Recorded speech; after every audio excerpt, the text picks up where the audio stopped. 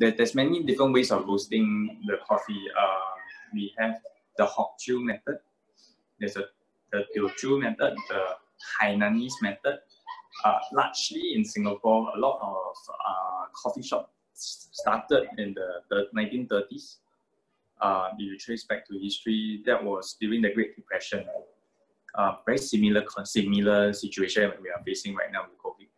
Um, everything, you know, um, there's a lot of startup. Back then, they started grants even. Uh, they were giving like $300, you can start a coffee shop. Right, tables and chairs, all in, uh, you just need a hot water. The, the the, cof, the, the, the method of a Hainanese came because the Hainanese were largely working on the plantation fields in the rubber tapping industry. They were actually helping the British to do the rubber. And in the past, Singapore was actually a top exporter for rubber in the world. We, we actually created the, innovated the most uh, efficient way of tapping rubber. Yeah, we were even doing more than Malaysia right? But we made a conscious choice to change the industry to fit because of our floor area and the population growth in the industry. Uh, then the Great Depression hit. Um, the motor car industry was badly hit. Ford had to close their factories. Uh, nobody was buying cars, right? So nobody was making tires anymore. That's when the rubber industry got hit. So we, the, the Hainanese people who were largely on the plantations, in, in, they were actually forced to change overnight they took the knowledge that they were they, they were when they were working for the British in their in their homes. Um, they were cooking Hainanese pork chop. You got your chicken rice, right? These were all variations of the, the British cuisines and they, they translated into local context. Now the, the Robusta beans that were actually grown here in Singapore, actually Singapore's climate is very perfect for green coffee. Orchard used to be a, a belt for it. Um, the beans were actually discarded by the British. The Arabica beans were taken and sold back home. Now, in, then what our forefathers did was they realized that the beans were spoiled very fast here because we have the four elements that's very bad for coffee, moisture, heat, sunlight, um, and even um, we are surrounded by seawater. Right? All these elements actually attack the coffee very quickly, it spoils. So they, they use the method of butter and sugar to roast it. And that's how the Hainanese roast actually came about. So um, from, from roasting, it actually creates a coat to, to protect your coffee like a, like a uh, armor over the beans. And that's why when you notice that in your coffee shops, most of them actually don't have a grinder. They actually have a mill, uh, a peanut mill actually used to be for grinding nuts. Because if you use a, even a $4,000 uh, Mazzer grinder, it's a high-end Italian meat, it will burn. Yeah, the sugar will just jam the whole bowls together. Everything will work in flames. Yeah, so um, the, the and this is uniquely Singapore. Um, the Malaysian way of roasting coffee totally different. Yeah, it's not the same. Um, the the Hock Chew's way of roasting coffee from Hainan is very different also because the timing when they pull the coffee uh, when I say pull, it means um, they usually have a hot bed of beans actually roasting on top. And they will drop it down into a large tray. And that's when they go in to use their hands to with the stick to actually break it up. Now that, that, that, that timing of catching the roast, right, requires a lot of guts. Um, the difference of that burning the whole batch of beans, which is almost your entire uh, margin, right, for the coffee, uh, it's just a matter of minutes you just need to miss it out by one or two minutes. The entire bedsheet goes charred. It's like charcoal. You can throw away the whole batch. Now corn is even harder to roast. Uh, and, and that's when the, in the later stage, green beans, corn, coconut, uh, many different kind of other forms were being experimented and innovated to use to create different flavors. Everybody wanted to be special. Yeah, and that's how you get the different kind of roast now you find, you know, not southeast west when you go around, you realize that every region in Singapore has a different characteristics of their coffee and the kopi tiams too.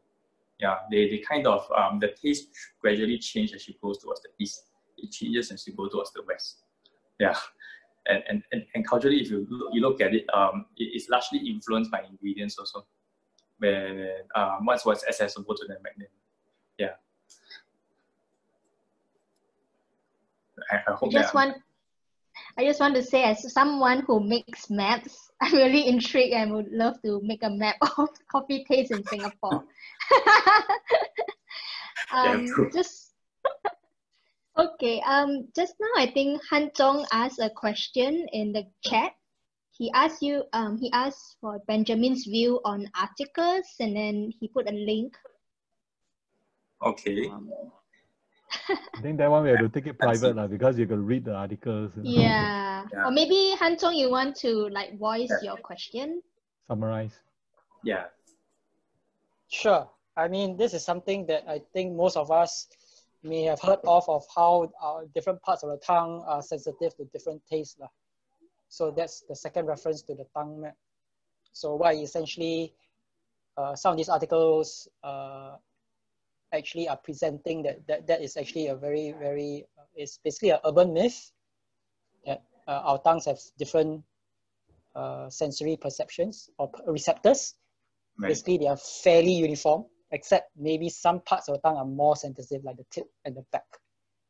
Yeah, but it's not true that you know only That some parts can taste salty. That's right. Yeah. So so I I was just wondering whether you're informed by this understanding or you know uh, how does And- that uh, how does that uh, inform your practice, for example? He, honestly, this is my first time hearing this also. I, I learned something new today. Um, to, to me, right, ultimately, food should be kept simple. Now. I also do not want to make it so scientific. But when I talk about that, that, that euphoria usually that people talk about, that umami kind of thing, um, I think the experience also goes on the full palate at the end of the day. But you can't just say, I just taste something with one part of my tongue. Yeah. Um, my, my chef in particular, uh, Sebastian, he, he actually has a very sensitive taste bud. And um, I think that's, that's important for a chef. And he, he actually protect, he tells me in this always that he guards his um, taste bud a lot, which means he don't take spicy food. He tries to be very careful with what he takes. And especially children also, he always tells me to avoid certain foods to, to ensure that they you don't spoil the taste buds because the moment you you start to have problems tasting certain things, you start to slide towards something more. Yeah, which uh, then that that amounts to you eating something that might not be healthy sometimes. uh. So um, he he always tells me this that locally here in Singapore, he feels personally, and this is not an attack on anyone, but he, he feels that a lot of people don't um, know how to taste as well. And he says that to me too. I think because of the coffee, um, we, we, we don't understand the, the taste beyond the dimension of just you know, 酸甜苦辣, right? Salty bitterness, sweet. He, he, he always emphasized to me about the mixing of the different kind of layers and how does that give a, a, di- a different dimension in view as we eat. Um, how does the ingredient translate when you put it in earlier? Do you taste it? How much of it? Uh, because if you don't, right, it means you're wasting the ingredient. Right? Uh, and, and nowadays, when you see people doing, um, you know, your your like if you go to some of those street markets, they, they, they place tons of sugar loaded kind of stuff over mixed with so many ingredients that you can't even taste what it is anymore. Um, he gets very agitated with it. And um, I, I personally think, uh, to me, it's more of a health approach. For him, he, he always shares with me, it's more of a um, waste of an ingredient. Um, you're not doing justice to whoever who, who went through the effort to grow it. Same, similarly like coffee, when we spend the effort growing, right? And if I, I see somebody taking the coffee grounds and making a really terrible cup of coffee with it, it, it gets on my nerves a little bit. yeah, because you're wasting the effort of thousands of people to actually get that bean to you from from farm to table. Yeah. I- sorry, I can't see the comments. You can just uh, air it out, maybe it's easier for me. I think there's one question uh, from uh, Oilian. Uh, she said uh, her mother actually brew coffee black and put it in Right. a thermal flask, and uh, it didn't turn sour. But nowadays, the coffee black that you know she put in the thermal turns sour. Why is that so? Right. a lot to do with the blend that you use. Now, the, the if there's corn in there, definitely it will turn sour. This I can guarantee you. Yeah. Uh, sometimes I mean when the, even the, the guys who sell the coffee, they might not know whether is there corn in there because it comes to them grounded in powder. Yeah. Um, so it's about sometimes about the purity of the coffee. So the, the, the type of beans that are being used also in harvest, it degrades over time. Actually, there is a problem in the, if you go to coffee forums and all, you will hear of a problem of um, coffee bean quality, the genes actually getting messed up. Uh, people have been doing a lot of crossbreeding and marketing and actually um, using different ways to grow the coffee too.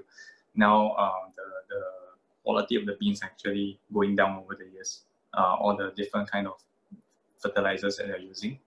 Um, it's, it's a capitalist problem that actually has created this. Um, people are buying islands to monopolize the market. So the, the accessibility to beans is becoming an issue. Uh, not only just here, here in Singapore. Uh, Starbucks actually secures islands for coffee uh, for certain taste profile that they want to prevent the market from, from uh, having a similar blend. Now, when that happens, right, sometimes uh, uh, a roast that you like, a local roast might actually be sourcing from some of these islands here in Indonesia. They, they lose that bean profile, that the taste change. Yeah, um, acidity in coffee actually is normal for certain regions. Actually, when you're in the tropical region, it goes up a little bit. Especially the elevation of the coffee also. If it's on a lower elevation, the amount of acidity goes up also. And it depends on what's going next door um, sometimes if you have chocolate next door, your coffee has chocolate taste in it and aroma in it also. Yeah. Um, and that, that's one of those that a lot of people price for. They have hope, oh, I hope my, my, this, this batch of beans are with their chocolatey taste. Right? So some some would say uh, there's Milo in it. Like, actually, no. It, was, it came from the plantation when they were growing. Uh, there were some people who were telling me people put uh, milk powder uh, yeah, to, to, to get a milky taste in the coffee. You know, that's the secret ingredient. They put kids milk powder in there. Uh, actually, the, the, the, creaminess comes from certain fruits or, or other things that they were growing around them at that point of time. Yeah. So the understanding of what's growing around you actually helps a lot. Uh, berries actually give a lot more uh, fruitiness, tart taste kind of the coffee.